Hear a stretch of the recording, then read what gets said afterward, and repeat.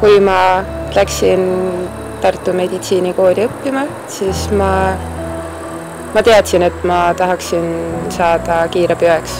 kiirabiõeks tahtsin ma saada sellepärast, et mulle lihtsalt see töö meeldib.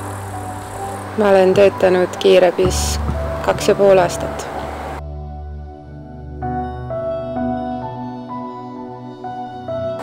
ma arvan, et peamiseks probleemiks ongi liigne töökoormus Eesti tervishoiusüsteemis. et äh, see rahulolematus äh, süsteemi suhtes ongi puhtalt sellest, et äh, ma ei, ma ei suuda nii palju hoolida, kui ma tahaksin. mul lihtsalt, mul lihtsalt ei ole aega.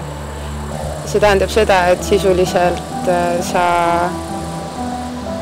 jooksedki ühe juurest teise juurde ja peamiseks saavadki sellised äh, käelised tegevused ja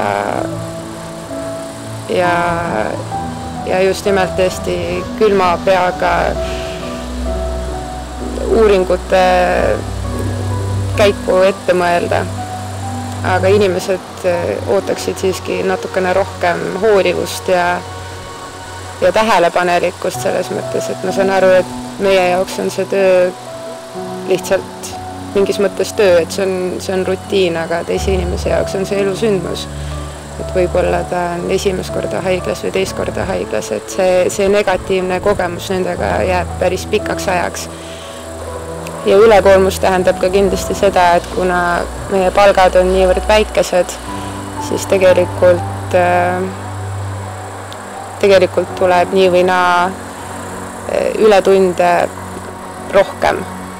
Ja, ja kui ei saa ületunde, siis paljud inimesed on valinud ka veel lisaks teise töökoha, samuti mina ise.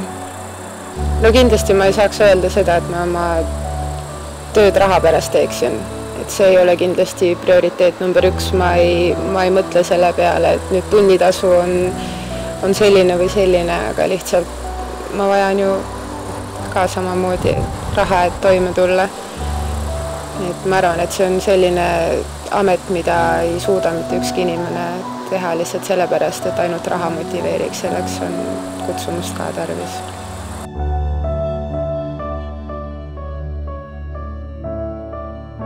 kui ma meditsiinisüsteemi tööle tulin siis üllatas mind, siis üllatas mind suuresti see, see õhustik, et praktikate ajal oli aru saada sellest, et, et ega keegi tegelikult sinuga tegeleda suuresti ei viitsi. ja, ja eks see on ka tulnud sellest, et lihtsalt see töökoormus on niivõrd suur inimestel, et nad lihtsalt ei jaksa. praktikate ajal ei saaks öelda, et äh, juhendajad oleksid äh, väga, väga lahkesti seletanud, selles mõttes, et oli, oli aru saada, et nad lihtsalt ei suuda keskenduda sellele, et hakata kellelegi algusest peale süsteemi tutvustama. ja, ja see ülekoormus neil väljenduski selles, et, et oli palju, palju tööd, oli palju patsiente oli ja palju paberimajandust ja oli täiesti pinget, pinget õhus tunda. Juhendajate, üleüldse töötajate koormus on suur. kiirabis eh, tegelikult tehti küll korralik ettevalmistus, et eh, see oli kindlasti väga, väga positiivne. et tegelikult ma, ma teadsin seda juba ette ka, et nemad tegelevad natukene rohkem, et äh, kiirabi, kiirabisituatsioonid ehk siis erakorralised situatsioonid on sellised asjad, mida tegelikult väga ka kooli ajal ei puudutatud.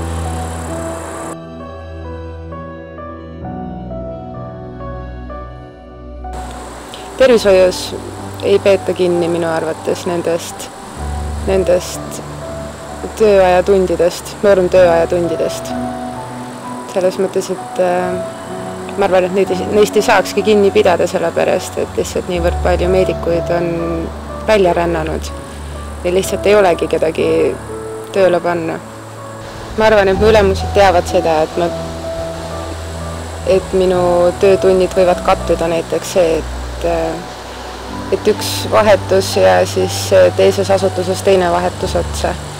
mulle lihtsalt tundub, et meie tööandjad ei, ei hooli meist nii, nagu vähemalt mina ootan, et seda võiks olla. selles mõttes, et kuna seda ülekoormust on niivõrd palju, siis tegelikult mulle tundub, et probleemiks ei ole mitte see, kui lõpetad hommikul ühe valve ja tormad kohe teise, vaid see, kui hilined ühest kohast teise